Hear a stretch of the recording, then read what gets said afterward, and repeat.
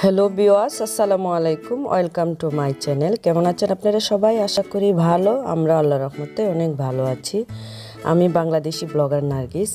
আমি আজ দেখাবো শ্যামাই পিঠা, কীভাবে গ্রামগঞ্জের মানুষরা শ্যামাই পিঠা তৈরি করে, সেটাই আপনাদের মধ্যে শেয়ার করব।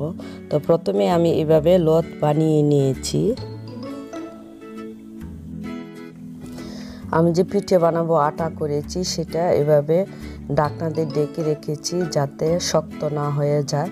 আমার বানাইতে সময় লাগবে সেই জন্য ভালো থাকবে। তা আমি অল্প অল্প করে বানিয়ে বানিয়ে নিব, তাহলে সুন্দর হবে। তো দেখুন কীভাবে আমি বানাচ্ছি। তো এভাবে অল্প অল্প করে আমি বানিয়ে নিয়েছি, যেহেতু আমি এত দক্ষ না সেই জন্য আস্তে আস্তে আমি এভাবে সব কটা বানিয়ে নেব।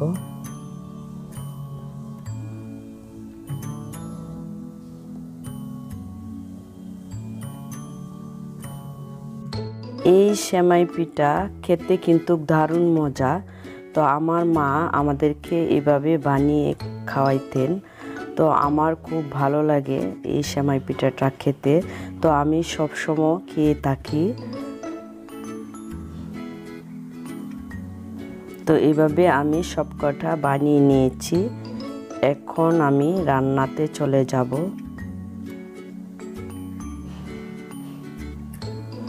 তাহলে চলুন আমরা রান্নাতে চলে যাই, কীভাবে আমি রান্না করেছি।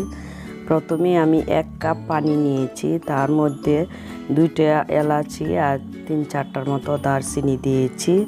তারপরে একটা তেজপাতা দিয়েছি। দেওয়ার পর আমি একটা ডাকনাতে ডেকে কিছুক্ষণ জাল করে নিয়েছি, যতক্ষণ না পানিটা ফুটে উঠে। আমি এখানে কোয়াটার চামিচ লবণ দিয়েছি। লবণ দিলে মিষ্টিটা পারফেক্ট হয়। আমার মাকে দেখেছি, এভাবেই লবণ দিয়ে দিতেন। আর এখানে আমি আধা কেজি দুধ দিয়েছি। তো আমি যেহেতু নারকেলের গুঁড়া করে দিব, সেজন্য নারকেলের মধ্যে দুধ থাকে। তার জন্য আমি দুধটা কম দিয়েছি। আপনারা ইচ্ছা করলে সবটাই দুধ দিয়ে রান্না করতে পারেন। তো আমি এক কাপ পানি দিয়েছি আর আধা কেজি দুধ দিয়েছি। আর এখানে আমি চিনি অল্পই দিব, কারণ আমি চিনি কম খাই সেই জন্য আপনারা যদি চিনি বেশি খেতে চান, তাহলে বেশি দিবেন। তা আমি অল্পই বানিয়েছি সেই জন্য আমি আমার মতো করে চিনি দিয়েছি। আমি তিন চামচ চিনি দিয়েছি, যদি লাগে তাহলে আমি আরও এক চামচ চিনি দিয়ে দিব।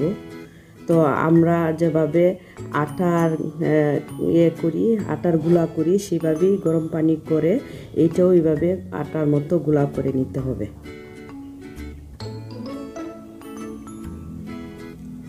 তো এই যে আমি এখন নারকেলের কুড়ানোটা আমি দিয়ে দিচ্ছি।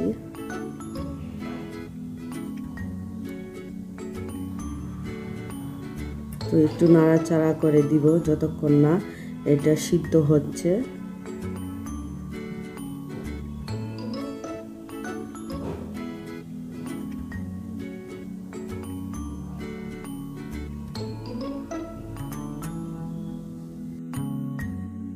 আমি যে নারকেল কুড়ানো দিয়েছি, সেটা সিদ্ধ হয়ে গেছে। এখন আমি সেমাই পিঠাটা দিয়ে দিচ্ছি।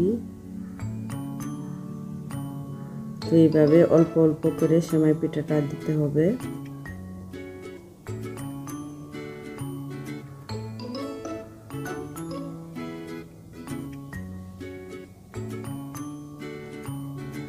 যে আমার দেওয়া শেষ। এখন আমি চামিচটি দিয়ে এভাবে নাড়াচাড়া করে দিব যাতে নিচে লেগে না যায়।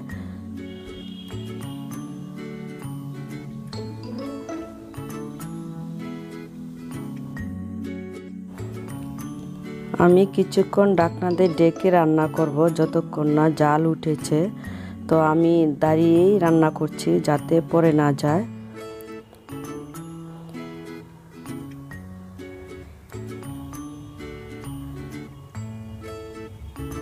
তো আমি এখন ডাকনাটা খুলে দিয়েছি, আর ডেকে রাখব না। তো আবারও একটু আমি নাড়াচাড়া করে দিচ্ছি, দেখুন কীরকম জর্জরে হয়েছে।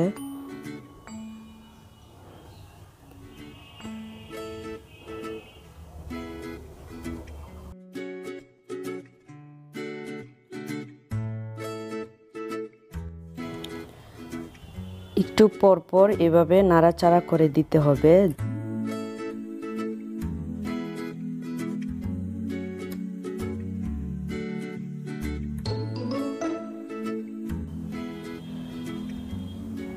তো প্রায় হয়ে গেছে আমার সেমাই পিঠা। যে দেখুন কতটা জর্জরে হয়েছে।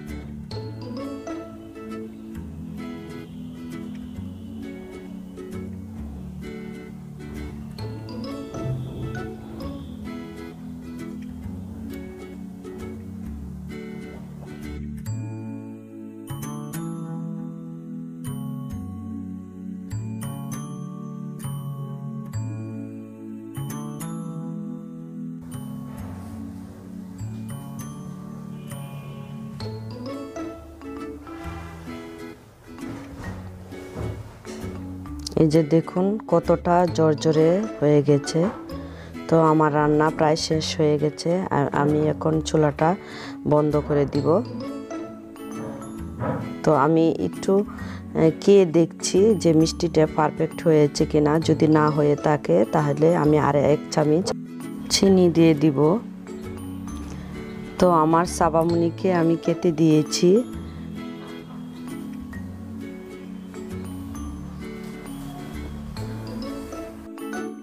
তো আমিও খেয়েছি, অনেক মজার হয়েছে। তো ভিউয়ার্স যদি ভিডিওটি ভালো লাগে, তাহলে অবশ্যই আমার চ্যানেলে সাবস্ক্রাইব করবেন। তো আল্লাহ হাফেজ, ভালো থাকবেন সবাই।